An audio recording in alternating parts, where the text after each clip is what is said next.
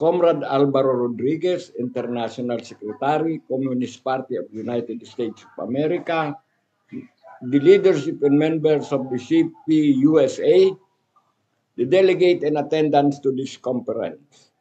Let me extend to you our party, Partido Komunista ng Pilipinas, PKP 1930, our warmest comradely greeting and gratitude to the International Department for initiating this fraternal conference for global action against war for peace and democracy. It is indeed a mass as the growing international situation is exacerbating to global war and conflict. Current imperialist provocations, the NATO and the USA nurturing of the fascist neo-Nazis ideology is now diabolically burning Ukraine and is causing the division and the crisis in Europe and in the world. The same tragic development in the band had led to the Second World War. It is now in Europe and it's expanding in our region, the Asia Pacific. USA and the European imperialism is flexing its muscle wars.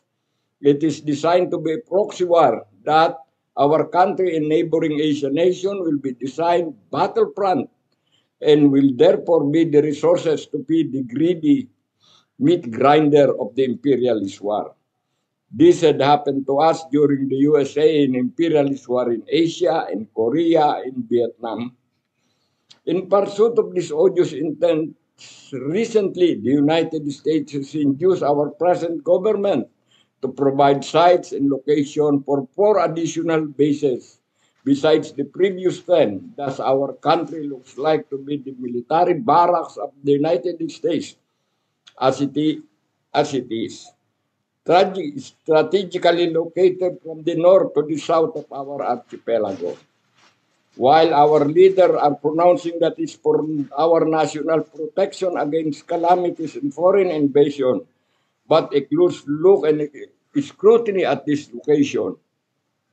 It is complementary designed to serve USA and its ally strategic military interests. The complement of USA 130 bases in Asia and the Pacific region aim against China, North Korea, and Russia. This is alarming. It's designed for Armageddon.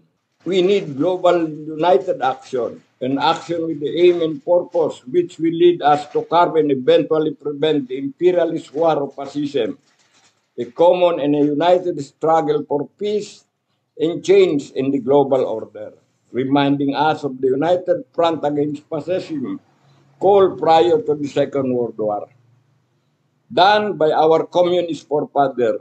We had caused the defeat of fascism and militarism.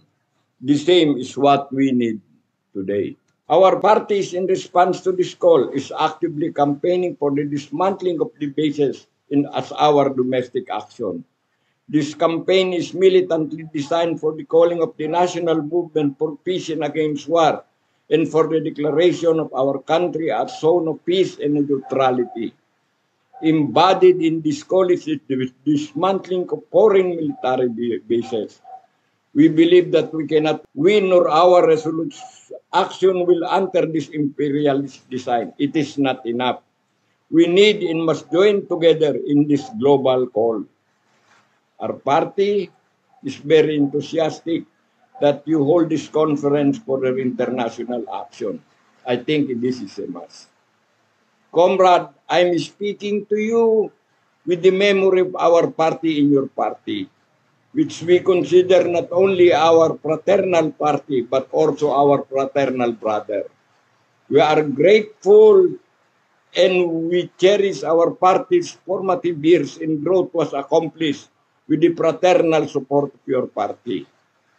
Today, I'm speaking in our office, William Pomeroy Hall. It is a conference room of our office, which we name after former member of your party, which was married to one of our leader, Celia Mariano.